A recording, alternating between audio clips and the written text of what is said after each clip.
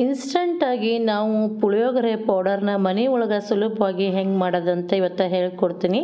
ಫಾಸ್ಟಾಗಿ ನೀವು ಬೆಳಗಿನ ತಿಂಡಿಗೆ ಅಥವಾ ಲಂಚ್ ಬಾಕ್ಸ್ಗೆ ಮಾಡ್ಬೋದು. ನಮಸ್ಕಾರ ಫ್ರೆಂಡ್ಸ್ ನಾನು ಮಮ್ಮದು ಉತ್ತರ ಕರ್ನಾಟಕದ ಅಡುಗೆಗಳ ಚಾನಲ್ನ ವೀಕ್ಷಿಸುತ್ತಿರುವ ನಿಮಗೆಲ್ಲರಿಗೂ ನನ್ನ ಚಾನಲ್ಗೆ ಸ್ವಾಗತ. ಇವತ್ತಿನ ದಿನ ನಾನು ಕಪ್ ಅಳತಿ ಒಳಗೆ ನಿಮ್ಗೆ ಪುಳಿಯೋಗರೆ ಪುಡಿ ಮಾಡೋದು ತೋರಿಸ್ತೀನಿ. ಮೊದಲಿಗೆ ಒಂದು ಕಪ್ನಷ್ಟು ನೀವು ಕೊತ್ತಂಬರಿ ಕಾಳನ್ನ ಸ್ವಚ್ಛ ಮಾಡಿಕೊಂಡು ಅದನ್ನ ಹುರ್ಕೊಳ್ರಿ. ಚಂದಾಗ ಫ್ರೈ ಮಾಡ್ಕೊಳ್ರಿ. ಅದು ಘಮ ಘಮ ಅಂತ ವಾಸನೆ ಬರ್ತೈತಿ. ಒಂದೇ ಸಮನಾಗಿನೇ ಹುರ್ಕೋಬೇಕು. ಆ ಯಾವ ಕಪ್ಪಿನೊಳಗೆ ತೊಗೊಂಡಿರ್ತೀರೋ ಅದೇ ಕಪ್ಪಿನ ಅಳತಿ ಒಳಗೆ ಅರ್ಧದಷ್ಟು ಅಂದ್ರೆ ಒಂದು ಕಪ್ಪು ಕೊತ್ತಂಬರಿ ಕಾಳು, ಅರ್ಧ ಕಪ್ನಷ್ಟು ಜೀರಿಗೆನ ಹುರ್ಕೊಳ್ಬೇಕು. ಇಲ್ಲಿ ನಾನು ನಿಮ್ಗೆ ಸರಳವಾಗಿ ಅಳತಿನ ಹೇಳ್ತೀನಿ. ಒಂದು ಕಪ್ಪು, ಅರ್ಧ ಕಪ್ಪು, ಕಾಲು ಕಪ್ಪು, ಗಿರ್ದ ಕಪ್ಪು, ಚಮಚ ಅಳತಿ ಒಳಗೆ ಹೇಳ್ತೇನೆ ನೋಡ್ರಿ. ಈಗ ನಾವು ಜೀರಿಗೆ ಎಷ್ಟು ತೊಗೊಂಡಿರ್ತೀವೋ ಅದರ ಅರ್ಧದಷ್ಟು, ಅಂದ್ರೆ ಕಾಲು ಭಾಗದಷ್ಟು ಮೆಣಸನ್ನ ತಗೋಬೇಕು. ನೀವು ಜೀರಿಗೆ ಅರ್ಧ ಕಪ್ ತೊಗೊಂಡ್ರೆ ಕಾಲು ಕಪ್ನಷ್ಟು ಮೆಣಸನ್ನ ತಗೊಳ್ಬೇಕು. ಸ್ಟೆಪ್ ಬೈ ಸ್ಟೆಪ್ ಹೇಳ್ತೀನಿ, ನೀವು ನೆನಪಿಟ್ಕೊಳ್ರಿ, ನಿಮಗೂ ಈಸಿ ಆಗ್ತೈತಿ ಅಳತಿ. ಈ ರೀತಿ ಒಂದು ಫಾಲೋ ಮಾಡಿದ್ರೆ. ಮೆಣಸು ಎಷ್ಟು ತೊಗೊಂಡಿರ್ತೀವಿ ಅದರ ಅರ್ಧದಷ್ಟು. ಅಂದರೆ ಈಗ ಕಾಲು ಕಪ್ಪಿನ ಅರ್ಧ ಅಂದರೆ ಎರಡು ಚಮಚ ಬರ್ತೈತಿ. ಅಷ್ಟು ಸಾಸಿವೆ ತೊಗೊಳ್ರಿ. ಸಾಸಿವೆ ಚಟಪಟ ಅಂತ ಸಿಡಿದ ಮೇಲೆ ಅದನ್ನ ತೆಗೆದು ಮೆಂತ್ಯ ಕಾಳು ಮೆಂತ್ಯ ಕಾಳನ್ನ ಒಂದು ಸಣ್ಣ ಚಮಚದಷ್ಟು ಹುರ್ಕೊಳ್ರಿ. ಇವನ್ನೆಲ್ಲನೂ ಚೆಂದಗೆ ಒಂದೇ ಸಮನಾಗಿ ಬೇರೆ ಬೇರೆನ ಹುರಿದು ಪುಡಿ ಮಾಡಿಟ್ಕೊಳ್ರಿ. ಇದು ಒಂದು ಸೈಡ್ ಎತ್ತಿಟ್ಬಿಡ್ರಿ. ಈಗ ನೆಕ್ಸ್ಟ್ ಏನಂತಂದ್ರೆ ಕಡಲೆಬೇಳೆ ಉದ್ದಿನಬೇಳೆ ಒಂದು ಕಪ್ನಷ್ಟು ಕಡಲೆಬೇಳೆ ಒಂದು ಕಪ್ನಷ್ಟು ಉದ್ದಿನಬೇಳೆ ಇದು ಸಣ್ಣ ಕಪ್ಪಿನ ಅಳತಿ ತೊಗೊಂಡೇನಿ. ಈ ಟೀ ಕುಡಿತಾರಲ್ಲ ಆ ಕಪ್ಪಿನ ಅಳತಿದು.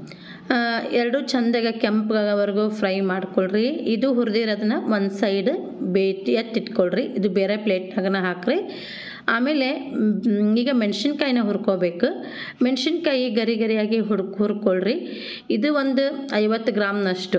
ಈಗ ಐವತ್ತೈವತ್ತು ಗ್ರಾಮ್ನಷ್ಟು ತೊಗೊಳ್ರಿ ಅಂದ್ರೆ ನೂರು ಗ್ರಾಮ್ ಆತಿದ್ದು ಇದು ಒಂದು ನೂರು ಗ್ರಾಮ್ನಷ್ಟು ಬ್ಯಾಡಗಿ ಮೆಣಸಿನ್ಕಾಯಿ, ಒಂದು, ಸಾರಿ, ಐವತ್ತು ಗ್ರಾಮ್ನಷ್ಟು ಬ್ಯಾಡಗಿ ಮೆಣಸಿನ್ಕಾಯಿ, ಐವತ್ತು ಗ್ರಾಮ್ನಷ್ಟು ಗುಂಟೂರು ಮೆಣಸಿನ್ಕಾಯಿ ಎರಡೂ ಸಮ ಸಮದೊಳಗೆ ತೊಗೊಂಡು ಹುರ್ಕೊಳ್ರಿ ಗರಿ ಗರಿ ಆಗೋ ಥರನ ಹುರ್ಕೊಳ್ರಿ ಸಣ್ಣ ಉರಿ ಒಳಗೆ ಚಂದಾಗ ಹುರಿದ್ರೆ ಪುಡಿನೂ ನುಣ್ಣಗೆ ಹಾಕತ್ತಿ ಯಾಕಂದ್ರೆ ನಾವು ಇದು ಇದನ್ನೆಲ್ಲ ಮಿಕ್ಸರ್ನಾಗ ಮಾಡ್ಕೊಳತ್ತೀವಿ. ಹೀಗಾಗಿ ಸಣ್ಣ ಉರಿ ಒಳಗೆ ಇವು ಮೆಣಸಿನ್ಕಾಯಿ ಹುರಿದಿರೋದು ಒಂಥರ ಗಳಗಳ ಅಂತಿರ್ತಾವೆ. ಅಷ್ಟು ಸೌಂಡ್ ಮಾಡ್ತಾವೆ ಅಲ್ಲಿವರೆಗೂ ಹುರ್ಕೊಳ್ಬೇಕು. ಇದು ಇಲ್ಲ ಅಂದ್ರೆ ನಾರು ನಾರ್ನಂಗಾದ್ರೆ ಸರಿಯಾಗಿ ನುಣ್ಣಗೆ ಪುಡಿ ಆಗಂಗಿಲ್ಲ ಇವು ಒಂದಿಷ್ಟು ಸಣ್ಣ ಪುಟ್ಟ ಟಿಪ್ಸ್ನ ಹೇಳ್ತಿರ್ತೀನಿ, ನೀವು ನನ್ನೆಲ್ಲ ನೆನಪಿಟ್ಕೊಂಡು ಫಾಲೋ ಮಾಡಿರಿ. ಆಮೇಲೆ ಈಗ ಹುಣಸೆ ಹಣ್ಣು ನೂರ ಐವತ್ತು ಗ್ರಾಮ್ನಷ್ಟು ತೊಗೊಂಡೇನಿ. ನೂರ ಐವತ್ತು ಗ್ರಾಮ್ನಷ್ಟು ಹುಣಸೆ ಹಣ್ಣನ್ನ ನಾವು ಸ್ವಚ್ಛ ಮಾಡ್ಕೋಬೇಕಿದ್ನ ನಾರು, ಬೀಜ ಸಿಪ್ಪಿ ಅದೇನಾರು ಇದ್ರೆ ಅದನ್ನೆಲ್ಲ ತೆಗೆದು ಸ್ವಚ್ಛ ಮಾಡಿಕೊಂಡು ಸಣ್ಣ ಉರಿ ಒಳಗೆ ಫ್ರೈ ಮಾಡ್ಕೊಳ್ರಿ. ಅಗ್ದಿ ಉರಿ ಸಣ್ಣಗೆ ಇಟ್ಕೊಳ್ರಿ. ಚಂದಾಗ ಅದೊಂದು ಸ್ವಲ್ಪ ಗರಿ ಗರಿ ಆಗ್ತೈತಿ ಪೂರ್ತಿ ಡ್ರೈ ಆಗ್ತತಿ ಅಲ್ಲಿವರೆಗೂ ಫ್ರೈ ಮಾಡ್ಕೊಳ್ರಿ. ನಾ ಯಾಕೆ ಇವನ್ನೆಲ್ಲ ಹೇಳ್ತೀನಿ ಅಂದ್ರೆ, ನೀವು ಎಲ್ಲ ಪದಾರ್ಥಗಳನ್ನು ಒಂದೇ ಸಮನಾಗಿ ಚಂದಾಗೆ ಹುರಿಯೋದ್ರಿಂದ ಮೂರರಿಂದ ನಾಲ್ಕು ತಿಂಗಳವರೆಗೂ ನಾವು ಈ ಪುಳಿಯೋಗರೆನ ಇಟ್ಕೊಂಡು ಉಪಯೋಗಿಸ್ಕೋಬೋದು. ಇಂದಿಲ್ ವಿಡಿಯೋದೊಳಗೆ ನಾನು ಎರಡೂವರೆ ಕೆ ಜಿ ಅಳತಿ ಒಳಗೆ ಇನ್ಸ್ಟಂಟಾಗಿ M T R puliyogare masala powder ಮಾಡೋದು ತೋರಿಸಿದ್ದೆ. ಅದರೊಳಗೆ ಭಾಳ ಜನ ಕಾಮೆಂಟ್ ಮಾಡಿದ್ರಿ, ನೀವು ಅಳತಿ ನಮ್ಗೆ ಕೆ ಜಿ ಅಳತಿ ಒಳಗೆ ಹೇಳ್ತೀರಿ ಯಾರು ತಗೊಂಗಿಲ್ಲ ಅಂತಂದು. ಅದಕ್ಕೆ ಮನೆಯೊಳಗೆ ಎಲ್ಲರಿಗೂ ಹೆಲ್ಪ್ ಆಗುವಂಗೆ ಕಪ್ ಅಳತಿ ಒಳಗನ ಮನೆಯೊಳಗೆ ಉಪಯೋಗಿಸುವಂತಹ ಒಂದು ಕಪ್ ಅಳತಿ ಒಳಗನ ಈಗ ತೋರಿಸಾತೀನಿ ಆದರೆ ಸ್ವಲ್ಪ ಎರಡೂ ಡಿಫ್ರೆಂಟ್ ಆಗೈತಿ ಮಾಡಿರೋ, ಮಾಡೋ ವಿಧಾನ. ಅದು ಒಂದು ಸ್ವಲ್ಪ ಬೇರೆ ಐತಿ, ಇದು ಒಂದು ಸ್ವಲ್ಪ ಮೆಥಡ್ ಬೇರೆ ಐತಿ. ಈಗ ಒಣ ಕೊಬ್ಬರಿನೂ ಒಂದು ಕಪ್ನಷ್ಟು ಹುರ್ಕೋಬೇಕು. ಒಣ ಕೊಬ್ಬರಿ ಕೆಂಪಗಾಗವಂಗು ಗರಿ ಗರಿ ಆಗೋ ಥರ ಹುರ್ಕೊಳ್ಬೇಕು. ಹಸಿ ಹಸಿಯಾಗಿ ಹುರ್ಕೊಂಡ್ರೆ ಈ ಒಂದು ಪುಳಿಯೋಗರೆನ ಪುಡಿನ ನಾವು ಭಾಳ ದಿನ ಇಟ್ಕೊಳಕ್ಕಾಗಂಗಿಲ್ಲ ಹಿಂಗಾಗಿ ಕೆಂಪಗೆ ಹುರ್ಕೊಳ್ರಿ. ಅಂದ್ರೆ ವಾಸನೆ ಬರೋದಿಲ್ಲ ಒಣ ಕೊಬ್ಬರಿ ಆಮೇಲೆ ಒಂದು ಕಪ್ನಷ್ಟು ನಾವು ಬಿಳಿ ಎಳ್ಳನ್ನು ತಗೋಬೇಕು. ಇದು ಲೈಲಾನ್ ಎಲ್ಲ ಎಳ್ಳಲ್ಲ, ಬಿಳಿ ಎಳ್ಳ, ಆದರೆ ಇದು ಜವಾರಿ ಎಳ್ಳು. ಅದಕ್ಕೆ ಒಂದು ಸ್ವಲ್ಪ ಕಪ್ ಐತಿ. ಎರಡೂ ಹುರ್ಕೊಂಡು ಒಂದು ಪ್ಲೇಟಿಗೆ ತಕ್ಕೊಳ್ರಿ. ಆಮೇಲೆ ಒಣ ಕೊಬ್ಬರಿ ಮತ್ತು ಎಳ್ಳು ಒಂದು ಪ್ಲೇಟ್ನಾಗ ಇಟ್ಕೊಂಡೇನಿ. ಈಗ ಉಪ್ಪು ತೊಗೋಬೇಕು. ಅರ್ಧ ಕಪ್ನಷ್ಟು ಉಪ್ಪು. ಅದನ್ನು ಸಹಿತ ಹುರ್ಕೊಳ್ಬೇಕು. ಸ್ವಲ್ಪ ಚಟಪಟ ಅಂತ ಸಿಡಿತೈತದ, ಅಲ್ಲಿವರೆಗೂ ಹುರ್ಕೊಳ್ರಿ. ಉಪ್ಪು ಸಹಿತ ಚಂದಾಗ ಹುರ್ಕೊಂಡ್ರೆ ನಾವು ಇವನ್ನೆಲ್ಲ ಯಾಕೆ ಹುರಿಬೇಕಂದ್ರೆ ನಾವು ಹೆಚ್ಚು ದಿನ ಇಟ್ಕೊಳ್ಳೋದಕ್ಕೆ ಹೆಲ್ಪ್ ಆಗ್ತೈತಿ. ಅದಕ್ಕೆ ನಾವು ಇನ್ನು ಚಂದಾಗಿ ಒಂದೇ ಸಮನಾಗಿ ಪ್ರತಿಯೊಂದನ್ನು ಹುರ್ಕೊಳ್ಬೇಕಾಗ್ತೈತಿ. ಈಗ ನೋಡಿರಿ ಒಣ ಮೆಣಸಿನ್ಕಾಯಿ, ಆಮೇಲೆ ಕಡಲೆಬೇಳೆ, ಉದ್ದಿನಬೇಳೆ, ಮಸಾಲೆ, ಸಾಮಾನು, ಆಮೇಲೆ ಒಣ ಕೊಬ್ಬರಿ, ಎಳ್ಳು ಆಮೇಲೆ ಈಗ ಒಣ ಮೆಣಸಿನ್ಕಾಯಿ ಹುರಿದಿರೋದನ್ನ ಆ ಉಪ್ಪು ಹುರಿದಿದ್ರೊಳಗನ ಸೇರಿಸ್ಕೊಳ್ತೀನಿ. ಅಂದ್ರೆ ಉಪ್ಪು ಮತ್ತು ಮೆಣಸಿನ್ಕಾಯಿನ ಪುಡಿ ಮಾಡ್ಕೊಳ್ಬೇಕು. ಈಗ ಎಲ್ಲ ಪುಡಿ ಮಾಡಿ ಮೆಣಸಿನ್ಕಾಯಿ ಪುಡಿ, ಆಮೇಲೆ ಮಸಾಲೆ ಪುಡಿ, ಕಡಲೆಬೇಳೆ, ಉದ್ದಿನಬೇಳೆ ಸಪ್ರೇಟ್ ಇಟ್ಕೊಂಡೇನಿ. ಆಮೇಲೆ ಎಳ್ಳು, ಒಣ ಕೊಬ್ಬರಿ ಅದನ್ನ ಸಪ್ರೇಟ್ ಇಟ್ಕೊಂಡೇನಿ. ಈಗ ಮೆಣಸಿನ್ಕಾಯಿ ಹುರಿದು ಪುಡಿ ಮಾಡಿದ್ನಲ್ಲ, ಅದಕ್ಕೆ ಮಸಾಲೆ ಪುಡಿನ ಸೇರಿಸ್ತೀನಿ. ಆಮೇಲೆ ಹಂಗೆ ಇವು ಮೇ, ಹುಣಸೆ ಹಣ್ಣನ್ನು ಸ್ವಲ್ಪ ಹುರಿದು ಇಟ್ಕೊಂಡಿದ್ನಲ್ಲ ಅದನ್ನು ಇದ್ರಾಗ ಸೇರಿಸ್ಕೊಳ್ತೀನಿ. ಮಸಾಲೆ ಪುಡಿ, ಮೆಣಸಿನ್ಕಾಯಿ ಪುಡಿ ಮತ್ತು ಹುಣಸೆ ಹಣ್ಣು. ಇವನ್ನೆಲ್ಲ ಮಿಕ್ಸ್ ಮಾಡಿ ಒಂದು ಎರಡು ಮೂರು ಸಲ ಜಾರ್ನೊಳಗೆ ಹಾ, ಜಾರಿಗೆ ಹಾಕಿ ಮತ್ತು ಸಣ್ಣಗೆ ಪುಡಿ ಮಾಡಬೇಕಾಗ್ತೈತಿ. ಉಪ್ಪು ಹಾಕಲಿಲ್ಲ ಅಂತಂದ್ರೆ ಸ್ವಲ್ಪ ಖಾರ ಕಹಿ ಅಂತ ಅನಿಸ್ತೈತಿ. ಅದಕ್ಕೆ ಅವಶ್ಯವಾಗಿ ಉಪ್ಪು ಹಾಕ್ಕೊಳ್ರಿ ಆಮೇಲೆ ಇದು ಹೆಚ್ಚಿಗೆ ದಿನ ಇಡೋದಕ್ಕೂ ಹೆಲ್ಪ್ ಆಗ್ತೈತಿ ಉಪ್ಪು. ಈಗ ಹುಣಸೆಹಣ್ಣು ಅಚ್ಚಕಾರದ ಪುಡಿ, ಮ, ಹುರಿದಿರೋದು ಪುಡಿ ಹುರಿದು ಪುಡಿ ಮಾಡಿರೋದು. ಮತ್ತು ಈ ಮಸಾಲೆ ಪುಡಿ ಎಲ್ಲ ಮಿಕ್ಸ್ ಮಾಡಿಕೊಂಡು ನಾನು ಇದನ್ನ ಒಂದು ಎರಡು ಮೂರು ಸಲ ಮಿಕ್ಸಿ ಜಾರಿಗೆ ಹಾಕಿ ನುಣ್ಣಗೆ ಪುಡಿ ಮಾಡ್ಕೊಳ್ತೀನಿ. ಈಗ ಇದು ಒಂದು ಪುಳಿಯೋಗರೆ ಮಸಾಲೆ ಪುಡಿ ರೆಡಿ ಆಯ್ತು ಇದಕ್ಕೆ ಬೆಲ್ಲನ ಸೇರಿಸ್ಕೊಳ್ತೀನಿ. ಒಂದು ಕಪ್ನಷ್ಟು ಬೆಲ್ಲ. ನಿಮಗೇನಾರ ಕಡಿಮೆ ಅಂತ ಅನ್ನಿಸ್ತು ಅಂತಂದ್ರೆ ಇನ್ನೊಂದು ಸ್ವಲ್ಪ ಸೇರಿಸ್ಕೋಬೋದು. ಬೆಲ್ಲನ ಪುಡಿ ಮಾಡಿ ನಾನು ಇದಕ್ಕೆ ಸೇರಿಸ್ಕೊಂಡು ನುಣ್ಣಗೆ ಮಿಕ್ಸರ್ ಮಾಡಿಕೊಂಡೆ. ಈಗ ನೋಡ್ರಿ ಪುಡಿ ಮಾಡಿರೋದು ಈ ರೀತಿ ಆಗೈತಿ. ಈಗ ನಾವು ಕಡಲೆಬೇಳೆ ಮತ್ತು ಉದ್ದಿನಬೇಳೆ ಪುಡಿ ಮಾಡಿದ್ನಲ್ಲ, ಅದನ್ನು ಈಗ ಸೇರಿಸ್ಕೊಳ್ತೀನಿ. ಎಲ್ಲನೂ ಸ್ಟೆಪ್ ಬೈ ಸ್ಟೆಪ್ ಹುರಿದಿರೋದನ್ನ ಎಲ್ಲನೂ ಒಂದೊಂದೇ ಆಗಿ ಮಿಕ್ಸ್ ಮಾಡ್ಕೊಳ್ಬೇಕು. ಹುಣಸೆ ಹಣ್ಣು ಅದೆಲ್ಲ ಕಾ, ಒಣ ಮೆಣಸಿನ್ಕಾಯಿ ಜೊತೆನ ನುಣ್ಣಗೆ ಪುಡಿ ಮಾಡಿದ್ದಕ್ಕೆ ಅದು ಸಣ್ಣ ಆಯ್ತು ಇಲ್ಲಾಂದ್ರೆ ಅದು ಒಂದೇ ಮಾಡಿದ್ರೆ ಸಣ್ಣ ಆಗಂಗಿಲ್ಲ ಅದಕ್ಕೆ ಹಿಂಗಾಗಿ ನಾವು ಮಸಾಲೆ ಹುಣಸೆ ಹಣ್ಣು ಮತ್ತು ಮೆಣಸಿನ್ಕಾಯಿ ಉಪ್ಪು ಹಾಕೋದ್ರಿಂದ ಸೊ ಕೂಡ ಒಂದು ಸ್ವಲ್ಪ ಕಹಿ ಕಡಿಮೆ ಅಂತ ಅನಿಸ್ತೈತಿ. ಮೆಣಸಿನ್ಕಾಯಿ ಒಂದ ಮಾಡಿದ್ರೆ ಮಿಕ್ಸರ್ ಮಾಡಿದರೆ ಅದು ಕಹಿ ಅನಿಸ್ತೈತಿ. ಈಗ ಅದನ್ನು ಉಪ್ಪು ಹಾಕಿ ಮಾಡ್ತೀವಲ್ಲ ಅವಾಗ ಕಹಿ ಅನ್ಸಂಗಿಲ್ಲ. ಇದು ಒಂದು ಟಿಪ್ಸ್ನ ನೆನಪಿನಲ್ಲಿ ಇಟ್ಕೊಳ್ರಿ.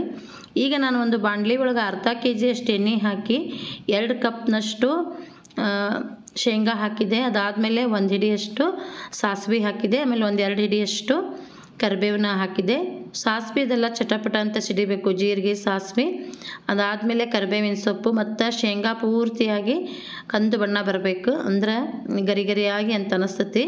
ಒಂದು ಎರಡು ಹಿಡಿಯಷ್ಟು ಕರಿಬೇವಿನ ಸೊಪ್ಪು ಹಾಕ್ಕೊಂಡೇನೆ ಯಾಕಂತಂದ್ರೆ ನಾನು ಯಾಕೆ ಇಲ್ಲಿ ಜಾಸ್ತಿ ಪ್ರಮಾಣದೊಳಗೆ ಎಣ್ಣೆ ಬಳಸಿದೆ ಅಂದ್ರೆ ಈಗ ನಾವು ಇದಕ್ಕೆ ಮತ್ತೆ ಆಮೇಲೆ ಒಗ್ಗರಣೆ ಹಾಕಂಗಿಲ್ಲ. ನಾವು ಅನ್ನ ಕಲಿಸ್ತೀವಲ್ಲ ಪುಳಿಯೋಗರೆ, ಅವಾಗ ಒಗ್ಗರಣೆ ಹಾಕಂಗಿಲ್ಲ. ಈಗ ಇದರೊಳಗನ ಇದು ಎಣ್ಣೆ ಒಳಗನ ಇರ್ತತಿ, ಇಲ್ಲಾಂದ್ರೆ ಇದು ಜಲ್ದಿನ ಹಾಳಾಗ್ತತಿ ಈ ಪುಳಿಯೋಗರೆ. ಅರ್ಶಿನ ಪುಡಿ ಒಂದು ಸಣ್ಣ ಎರಡು ಚಮಚದಷ್ಟು ಹಾಕ್ಕೊಂಡೀನಿ ಒಂದು ಚಮಚದಷ್ಟು ಹಿಂಗನ್ನು ಸೇರಿಸ್ಕೋಬೇಕು. ಪುಳಿಯೋಗರೆ ಅಂತಂದಮೇಲೆ ಅದಕ್ಕೆ ಹಿಂಗೆ ಇರಲೇಬೇಕು ಅವಶ್ಯವಾಗಿ. ಹಿಂಗು ಒಂದು ಚಮಚದಷ್ಟು ಹಾಕ್ಕೊಳ್ಬೇಕು ಈಗ ಎಲ್ಲ ಗರಿ ಗರಿ ಆಗೋ ಥರ ಫ್ರೈ ಮಾಡ್ಕೊಂಡೇ ಈಗ ಸ್ಟೋವ್ ಆಫ್ ಮಾಡ್ಕೊಳ್ರಿ. ನಾನಿಲ್ಲಿ ಕಡಲೆಬೇಳೆ ಉದ್ದಿನಬೇಳೆ ಬಳಸಿಲ್ಲ. ಯಾಕಂತಂದ್ರೆ ನಮ್ಮ ಮನೆಯೊಳಗೆ ಹಲ್ಲಾಗಿ ಸಿಗ್ತಾವು ಕಡಲೆಬೇಳೆ ಅಂತ ಹೇಳ್ತಾರೆ. ಹಂಗಾಗಿ ನಾನು ಸೇರಿಸೋದಿಲ್ಲ. ನೀವು ಬೇಕಿದ್ರೆ ಕಡಲೆಬೇಳೆ ಉದ್ದಿನಬೇಳೆನ ಹಾಕೋಬೋದು. ಈಗ ನಾ ಏನು ಒಗ್ಗರಣೆ ಮಾಡಿಟ್ಕೊಂಡಿದ್ನಲ್ಲ, ಆ ಮಸಾಲೆ ಪುಡಿ ಎಲ್ಲ ಕಲಿಸಿಟ್ಕೊಂಡಿದ್ದಲ್ಲ ಅದಕ್ಕೆ ಈ ಒಗ್ಗರಣೆನ ಸೇರಿಸ್ಕೊಳ್ತೀನಿ. ಈ ಒಗ್ಗರಣೆನ ಸೇರಿಸ್ಕೊಂಡು ಚೆಂದಾಗಿ ಮಿಕ್ಸ್ ಮಾಡ್ಕೊಳ್ತೀನಿ. ಹಿಂಗೆ ಹಾಕಿರ್ತೀವಲ್ಲ, ಅದು ಘಮ ಮಸ್ತ್ ಬರ್ತೈತಿ. ಮತ್ತು ಈ ಬಿಸಿ ಬಿಸಿ ಒಗ್ಗರಣೆನ ಇದಕ್ಕೆ ಹಾಕೋದ್ರಿಂದ ಇದು ಎಲ್ಲ ಮಸಾಲೆ ಪದಾರ್ಥಗಳು ಚೆಂದಾಗಿ ಹೊಂದಿಕೊಂಡು ಕಲರ್ನು ಸಹಿತ ಚೆಂದ ಬಿಟ್ಕೊಳ್ತೈತಿ. ಈಗ ನಾವು ಬಿಸಿ ಎಣ್ಣೆ ಒಳಗೆ ಖಾರ ಪುಡಿ ಹಾಕಿದಾಗ ಹೆಂಗೆ ಕಲರ್ ಬಿಟ್ಕೊಳ್ತೈತಿ ನೋಡಿರಿ, ಅದೇ ರೀತಿ ಬಿಸಿ ಎಣ್ಣೆನ ಹಾಕಿರ್ತೀವಲ್ಲ, ಅದು ಮೆಣಸಿನ್ಕಾಯಿ ಒಳಗಿನ ಕಲರ್ ಬಿಟ್ಕೊಳ್ತೈತಿ. ಕಲರು ಅಷ್ಟು ಚಂದ ಬಂದಿರ್ತೈತಿ ಮತ್ತು ನೋಡಾಕೂ ಅಷ್ಟು ಟೇಸ್ಟಿನೇ ಇರ್ತೈತಿ. ಈಗ ಹುಣಸೆ ಹಣ್ಣು, ನಾನು ಹಿಂದಿಲ್ ವಿಡಿಯೋದೊಳಗೆ ಹುಣಸೆ ಹಣ್ಣನ್ನ ರಸ ತೆಗೆದು ಮಾಡಿದ್ದೆ. ಈ ಸಲ ಈ ರೀತಿ ಡ್ರೈ ಮಾಡ್ಯ ನೋಡ್ರಿ. ಅದು ಡ್ರೈ ಪುಡಿನ ಇನ್ಸ್ಟಂಟ್ ಪುಡಿನ ಆಗಿತ್ತು, ಆದರೆ ಅದಕ್ಕೆ ಸ್ವಲ್ಪ ಟೈಮ್ ಭಾಳ ತಗೊಳುತ್ತು ಆಮೇಲೆ ಅದು ಸ್ವಲ್ಪ ಕೆಲಸನೂ ಜಾಸ್ತಿ ಅನ್ನಿಸ್ತು ಇದು ಅಷ್ಟು ಅನ್ಸಂಗಿಲ್ಲ. ನೀವು ಸಹಿತ ಮನೆಯೊಳಗೆ ಈ ರೀತಿ ಮಾಡಿ ನೋಡ್ರಿ.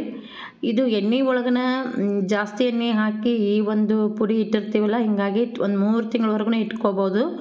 ಮತ್ತು ನೀವು ಅನ್ಬೋದು ಒಣ ಕೊಬ್ಬರಿಗೆ ವಾಸನೆ ಬರ್ಬೋದು ಅಂಥೇಳಿ ಇದನ್ನು ನಾವು ಸ್ವಲ್ಪ ಕೆಂಪುಗವರೆಗೂ ಒಣ ಕೊಬ್ಬರಿನ ಹುರಿದಿರ್ತೀವಲ್ಲ, ಹಿಂಗಾಗಿ ವಾಸನೆನೂ ಬರೋದಿಲ್ಲ. ನೋಡಿರಿ, ಇದೆಲ್ಲ ಮಿಕ್ಸ್ ಮಾಡ್ಕೊಂಡ್ಮೇಲೆ ಎಲ್ಲ ಕಲ್ಸ್, ಎಣ್ಣೆ, ಒಗ್ಗರಣೆ ಅದನ್ನೆಲ್ಲ ಕಲಸಿದ್ಮೇಲೆ ಈ ರೀತಿ ಆಗೈತಿ. ಇನ್ನೊಂದು ಸ್ವಲ್ಪ ಹೊತ್ತಿಗೆ ಇನ್ನೊಂದು ಚೂರು ಡ್ರೈ ಆಗ್ತೈತಿದ್ದು ಇಷ್ಟ ಇರಂಗಿಲ್ಲ. ಈ ಒಂದು ಇನ್ಸ್ಟಂಟಾಗಿ ಮಾಡಿಟ್ಕೊಂಡ್ರೆ ಬೆಳಗಿನ ಲಂಚ್ ಬಾಕ್ಸ್ಗೂ ತಿಂಡಿಗೂ ಎಲ್ಲ ಮಾಡ್ಕೋಬೋದು. ಭಾಳ ಈಸಿ ರೆಸಿಪಿ ಎಕ್ಸ್ಟ್ರಾ ಒಗ್ಗರಣೆ ಹಾಕಬೇಕು ಅಂತ ಅನ್ನೋ ಅವಶ್ಯನೇ ಇರೋದಿಲ್ಲ. ಈಗ M T R G R B ಇವೆಲ್ಲ ನೀವು ಇನ್ಸ್ಟಂಟಾಗಿ ಪುಳಿಯೋಗರೆ ಪುಡಿಗಳು ತರ್ತಿರಲ್ಲ ಅದಕ್ಕಿಂತನೂ ಇದು ಬಹಳ ರುಚಿಯಾಗಿರ್ತೈತಿ. ಮತ್ತು ಮನ್ಯಾಗ ಮಾಡಿರೋದು ಅಂದ್ರೆ ಈಡೂ ಆಗ್ತೈತಿ. ನೀವು ಒಮ್ಮೆ ಟ್ರೈ ಮಾಡಿರಿ. ನಾನು ಇದೆಲ್ಲ ತೊಗೊಂಡಿರೋ ಅಳತಿಗೆ ಒಂದು ಕೆ ಜಿ ಮೇಲೆ ಎಂಟುನೂರು ಗ್ರಾಮ್ ಆಗೈತಿದ್ದು ಅನ್ನನ ಕಲಿಸಿದೆ. ಈಗ ಟೇಸ್ಟ್ ನೋಡೋ ಟೈಮು ನೀವು ಮನೆಯೊಳಗೆ ಟ್ರೈ ಮಾಡಿರಿ, ಹೆಂಗಿತ್ತಂತ ನನಗೆ ಕಾಮೆಂಟ್ನಾಗ ತಿಳಿಸ್ರಿ. ವಿಡಿಯೋ ನೋಡಿದೆಲ್ಲರಿಗೂ ಧನ್ಯವಾದಗಳು.